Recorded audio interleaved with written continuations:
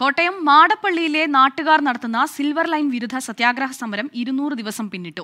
സർക്കാർ പദ്ധതിയിൽ നിന്നും പിന്നോട്ടു പോകാത്ത സാഹചര്യത്തിൽ സമരം ശക്തമാക്കാനാണ് തീരുമാനം. കോട്ടയം ഗാന്ധി സ്ക്വയറിലാണ് ഇരുന്നൂറാം ദിവസത്തെ സത്യാഗ്രഹം നടക്കുന്നത്. മാടപ്പള്ളിയിൽ നടക്കുന്ന സിൽവർ ലൈൻ വിരുദ്ധ സത്യാഗ്രഹ സമരം ഇരുന്നൂറാം ദിവസം പിന്നിട്ട സാഹചര്യത്തിൽ പുതിയ സമര രീതികൾ ആവിഷ്കരിക്കാനാണ് സമരസമിതിയുടെ തീരുമാനം. ഇരുന്നൂറാം ദിവസം പിന്നിട്ട സമരം കൊടിക്കുന്നിൽ സുരേഷ് എം പി ഉദ്ഘാടനം ചെയ്തു.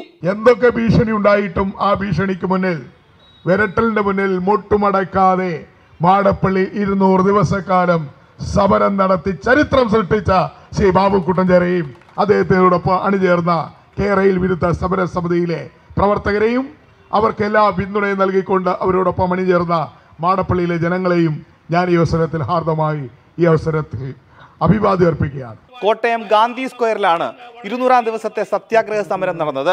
മാടപ്പള്ളിയിൽ പോലീസ് അതിക്രമത്തിനിരയായ ജിജി ഫിലിപ്പ് ഉൾപ്പെടെ നിരവധി പേർ സമരത്തിൽ പങ്കെടുത്തു. Anto Antony M P Mons Joseph M L A Saleem P Mathew തുടങ്ങിയ നേതാക്കളും പിന്തുണയുമായി എത്തി. ട്വന്റി കോട്ടയം.